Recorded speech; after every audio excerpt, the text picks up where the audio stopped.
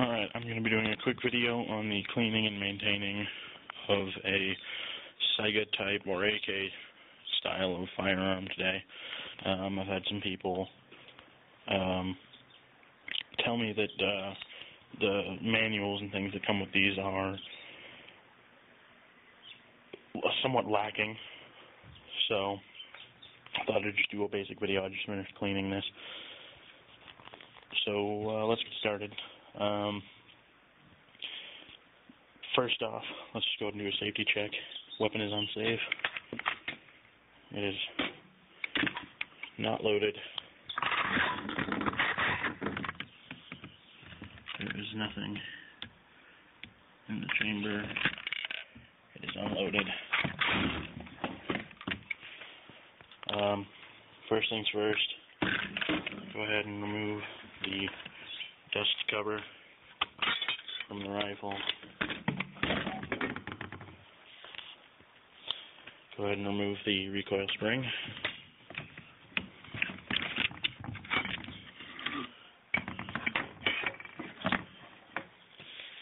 Alright, then go ahead and remove the bolt, bolt for assembly, and gas piston. Um, set that aside. Go ahead and flip up the gas block retaining lever. And uh, it varies from rifle to rifle, but mine is extremely stiff. Uh,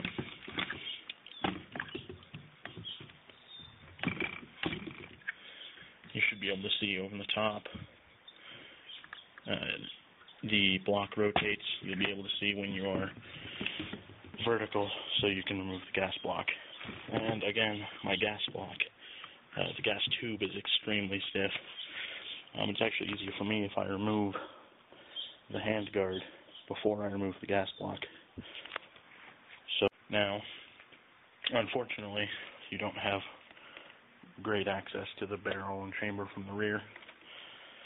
Um, but you do have enough. I generally can go ahead and put some uh, different people use different things. I use corrosive ammo on this.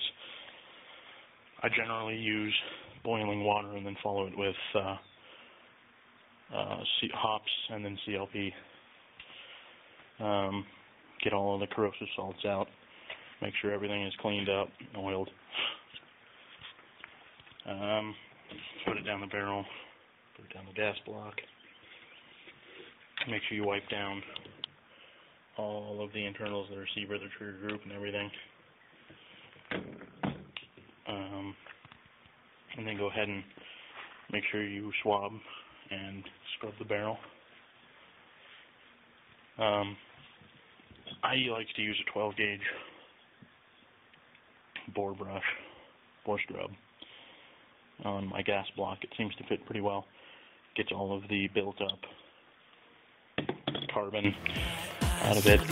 And then I use uh, usually a rolled up paper towel uh, just of squeegee everything out and get some oil in it.